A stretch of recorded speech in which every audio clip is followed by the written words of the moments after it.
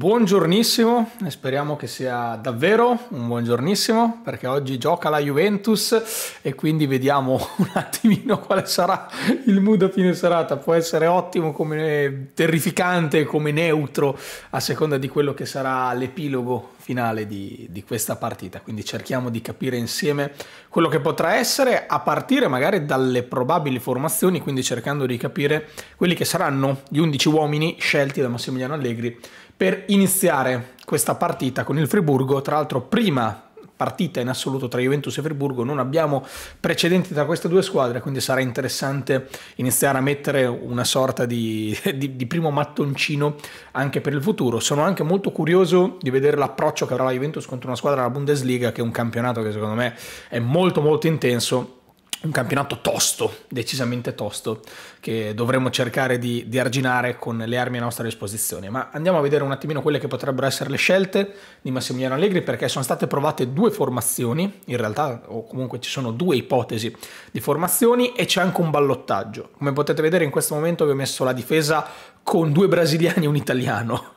perché non c'è Alexandro, bensì Bonucci, ieri è stato provato a tre titolari, perché Alexandro anche ieri Allegri ha detto non sappiamo se recupererà, oggi avrà la possibilità di fare un provino, avrà la possibilità di decidere se Alexandro è recuperato oppure no, ha detto ieri Allegri il 99% convocato, ma non significa che sia in grado di partire titolare, quindi Scesni in porta, Danilo sul centro-sinistra in caso di titolarità di Bonucci, che va a prendere il centro della difesa, e con Bremer che si sposta a destra, come abbiamo sempre visto in stagione con la difesa 3 e Bonucci titolare. Kostic sulla sinistra, giocatore che sarà titolare, anche ieri ha parlato in conferenza stampa insieme ad Allegri, giocatore che secondo me ha capito davvero il senso di appartenenza della Juventus in questi pochi mesi di bianco-nero, quadrado sulla destra anche perché non c'è possibilità di alternativa dato che De Sciglio non sarà convocato neppure oggi, Locatelli in mediana, eh, mi viene sempre a dire in regia, in cabina di regia, però eh, forse è più appropriato il termine mediana perché Locatelli quest'anno sta veramente facendo una stagione da mediano, una stagione che in fase di non possesso è da premiare assolutamente,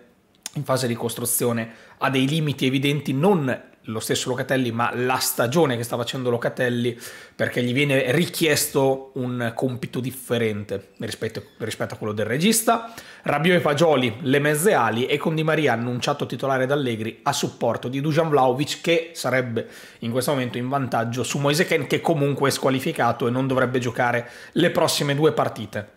di campionato, quindi Ken eh, andrebbe a trovare terreno fertile proprio in Europa League, anche se in questo momento la preferenza Allegri sembra orientata verso Dusan Vlaovic, che ha bisogno di tornare al gol e in questo caso secondo me è giusto far giocare Vlaovic, anche perché eh, non vorrei che venisse letta da Ken come una sorta di premio il fatto di essere eh, stato espulso dopo 40 secondi con la Roma, e quindi potrebbe, poteva essere assolutamente un giocatore da, da ricambio nelle gerarchie, eh, la titolarità titolarità di Moise Ken, magari non in questa partita o in quella di ritorno, però secondo me nella successiva, quella dopo, immediata rispetto all'espulsione, è giusto fargli capire che non parte titolare anche per questo e quindi salterà la partita di campionato e salterà buona parte della partita di Europa League. Perché dicevo che c'è un'altra possibilità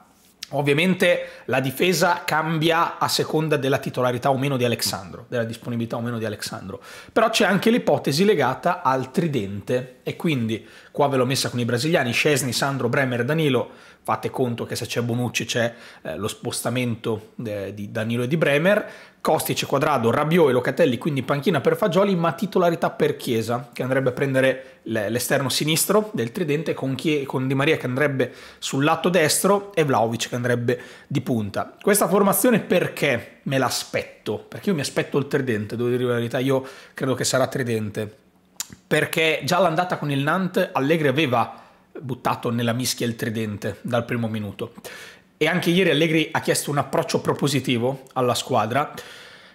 e ha chiesto di cercare di chiudere la partita già nella fase di andata, quindi già in casa nostra, anche perché la Juventus è una squadra che ha più difficoltà in trasferta, è una squadra che abbiamo visto segna meno in trasferta e subisce di più e quindi probabilmente l'intenzione è quella di chiudere i giochi già adesso comunque mettere una seria ipoteca per il passaggio del turno. Quindi io mi aspetto il tridente perché potrebbe essere assolutamente la volontà di fare la partita grossa già in casa, già nella parte di andata. Però attenzione che ci potrebbero essere anche eh, delle altre motivazioni dietro e quindi cerchiamo un attimino di fare il punto, la situazione per quanto riguarda il Friburgo. E quindi mh, voglio insieme a voi andare a vedere quella che è la classifica di Bundesliga con il Bayern Monaco primo a 49 punti insieme al Borussia Dortmund a 49 punti e poi c'è l'Union Berlin terzo a 44 punti e l'Ipsia e Friburgo a pari merito con 42 con l'Eintracht 39 l'Eintracht che tra l'altro è una squadra che sta giocando in Champions questa stagione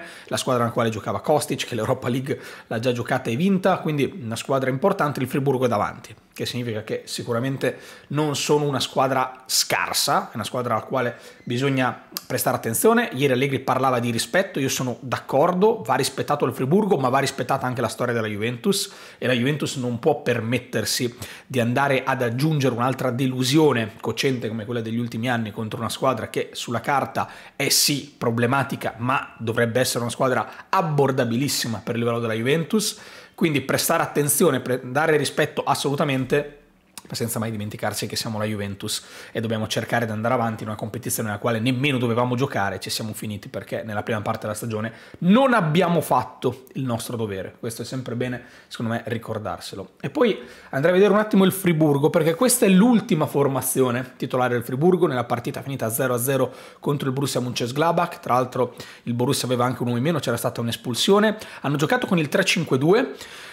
non è proprio il modulo di riferimento perché sono una squadra che cambia spesso e volentieri dal 3-5-2 al 4-4-2 o 4-2-3-1 che dir si voglia. Se guardiamo i capocannonieri in Bundesliga, Vincenzo Grifo, giocatore nazionale italiana, è il capocannoniere del Friburgo con 12 gol. Al secondo posto eh, Gregorisk con 8 gol e nell'ultima partita non ha giocato. Se aggiungiamo che Grifo solitamente gioca esterno sinistro nel, nel 4-2-3-1 e non mezzala come viene eh, inserito all'interno in grafica anche se è stato etichettato come trequartista all'interno di questa partita quindi magari ha giocato qualche metro più avanti comunque Grifo è un giocatore che parte dall'esterno e attenzione che Grifo oltre ad aver segnato 12 gol in Bundesliga ha fornito pure 4 assist quindi eh, Gregorisk e Grifo sono i due giocatori di riferimento anche perché il terzo capocannoniere all'interno del campionato è, è Ginter insieme ad Oler che è il, praticamente il centravanti di riserva alle spalle di Gregorisk quindi attenzione che non è proprio così, attenzione a prendere questo 0 a 0 come riferimento perché non è esattamente questa cosa qui. Quindi cerchiamo di andare un po' più nel dettaglio, guardiamo in generale quali sono i numeri dei giocatori del Friburgo. Abbiamo Grifo con 14 gol, Gregorisk con 12 e poi Ginter, Doan, Kubler, Holler e tutti gli altri giocatori che arrivano dopo. Quindi due pericoli principali in assoluto sono quei due lì, il 32 e il 38, l'ala sinistra e la punta centrale. Sono i due giocatori di riferimento, sono giocatori in piena età calcistica perché sono al loro top, sono eh, un 28enne, un 29enne, quindi nel momento più alto della loro carriera dove poi inizierà una piccola fase eh, di, di, declino nei prossimi anni, ma in questo momento qui loro sono concentrati, tra l'altro Grifo nel miglior momento in carriera per gol segnati e asset forniti, quindi bisognerà sicuramente prestare attenzione a un giocatore che poi avrà anche una volontà in più no? di dimostrare il suo valore. Vieni in Italia a giocare all'Allianz Stadium contro una squadra italiana, quindi vorrai cercare di metterti in mostra. Bisognerà prestare particolare attenzione a Vincenzo Grifo che se partirà dalla sinistra se la vedrà con Juan Quadrado su quella fascia.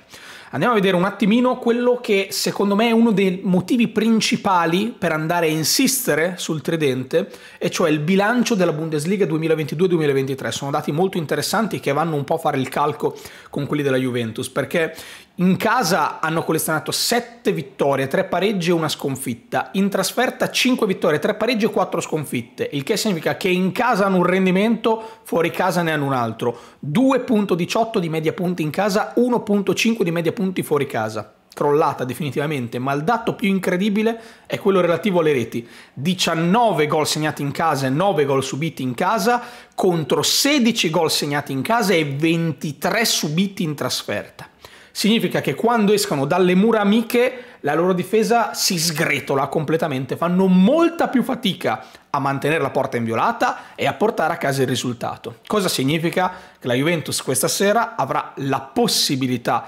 veramente di fare il colpaccio perché poi in casa magari sono una squadra eh, più tranquilla, in 11 partite hanno subito soltanto 9 gol, quindi è anche difficile andare a scardinare la loro difesa in casa. Questa sera è la partita decisiva per il passaggio del turno, perché poi si complica, si complica nella partita di ritorno in Germania. Questa sera bisognerà fare una partita in cui non bisognerà accontentarsi. Un po' il titolo del video di ieri sera della conferenza stampa di Allegri che dicevo vincere sì, ma con almeno due gol di scarto perché è un attimo andare a complicare la qualificazione perché in casa tiriamo il freno a mano, cerchiamo di giocarci il jolly in trasferta e poi può esserci l'episodio, la serata storta, eh, l'arbitro, il gol che non entra di un millimetro come quello con, di Chiesa con il Nantes, può esserci qualsiasi cosa. Cerchiamo di non complicarci la vita e cerchiamo di tenere a mente che loro in casa sono una squadra rispettabile, fuori casa sono una squadra che si trasforma e che subisce decisamente di più. Quindi questa deve essere la partita in cui iniziamo a mettere tutto il nostro arsenale offensivo all'insegna della partita. E poi davvero prestare attenzione a Grifo che, che sta facendo una stagione sicuramente sopra i suoi standard, tipicamente gioca appunto su, come ala sinistra, però gli è capitato anche di giocare per vie centrali, da ala sinistra 13 gol e 5 assist, da trequartista un gol e 2 assist, ha giocato solamente 3 partite, quindi un giocatore che preferisce partire largo, dobbiamo assolutamente rispettare questo giocatore che forse negli anni abbiamo un po' troppo snobbato all'interno della nostra Serie A, ma che si sta rivelando un giocatore importante in un campionato che sicuramente sta emergendo e sta diventando tra i top al mondo. E quindi questo è, ragazzi, noi ci vediamo ovviamente questa sera per tutte le post partita, live reaction, pagelle domani, live reaction editate domani mattina, quindi tutto il programma solito delle partite, ci vediamo su Twitch e poi ci vediamo su YouTube per il post partita. Un abbraccio e ricordatevi, rispettiamolo, non sottovalutiamolo, ma siamo la Juventus.